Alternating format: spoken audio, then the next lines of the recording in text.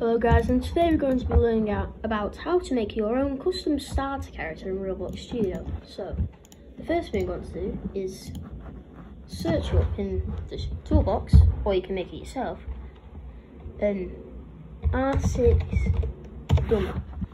Basically brings in this little template and now we can customize this. For now I'm just going to do something pretty simple I'm going to make this grey.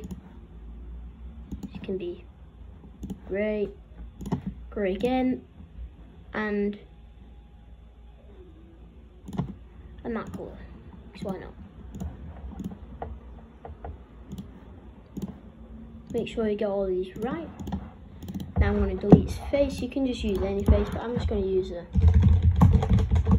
Madness Combat face for today as an example.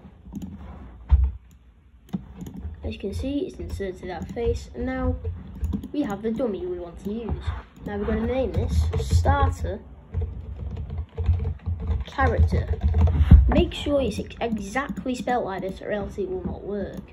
And you can put this into starter player and just leave it like that. Now if we test play, you should become that character. And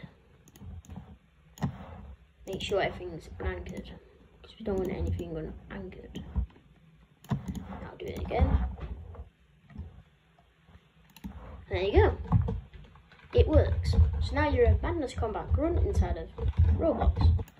It's basically what this does, it overrides your current avatar and you get to become this. And then we can do this with any template as long as it has this. And that's pretty much it for this pretty much it for this. We can add, um, I don't know, a part to its head if we wanted to. Put that to its head, put inside of head, and go weld and weld this to the head.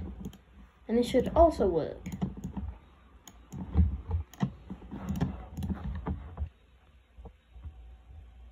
As you can see, the art start character now has a part attached to his head. So this can be useful for uniforms and stuff like that if you want to have a game where it's based off a character. And you don't want custom avatars.